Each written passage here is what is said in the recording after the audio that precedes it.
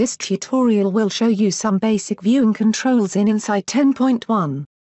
The program EnSight allows you to view a geometry or a mesh generated by OpenFOAM.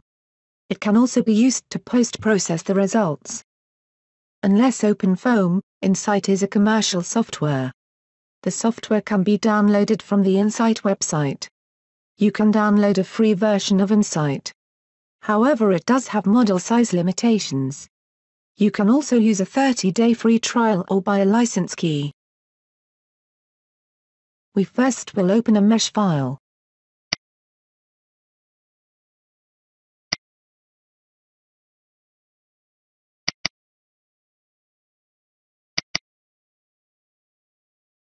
In this folder you find two files generated by OpenFOAM.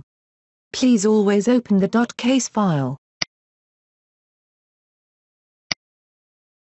A list of all the patches are given in the top left-hand corner underneath case 1.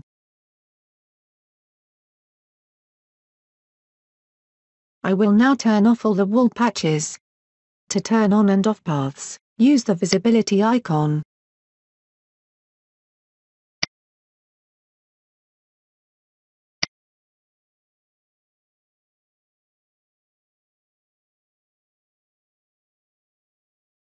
Clicking the left mouse button and dragging allows to rotate the viewing angle with respect to the axis shown on the screen.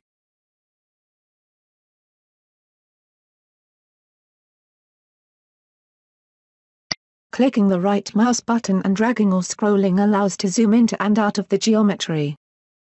Clicking the middle button and dragging allows to translate the geometry.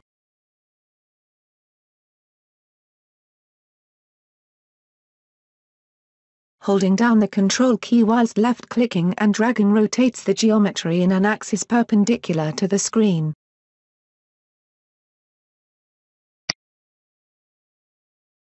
I will now create a surface mesh of the motorbike.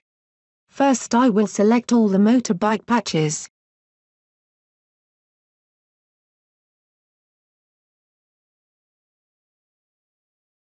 The surface mesh of the motorbike can be viewed by clicking on the display shaded surface icon. The opacity of the surface mesh can be toggled by clicking on the overlay hidden lines icon.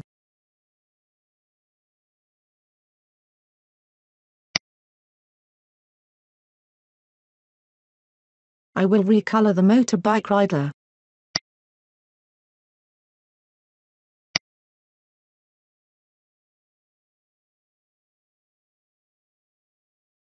You can see that the color of the motorbike rider has been changed from green to orange.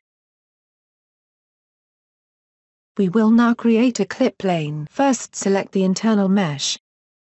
Use the scissor button to create a clip plane.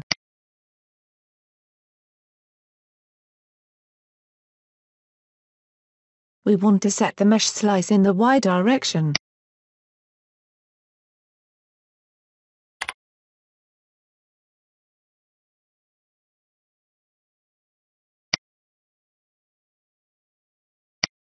As you can see, a clip plane has been created.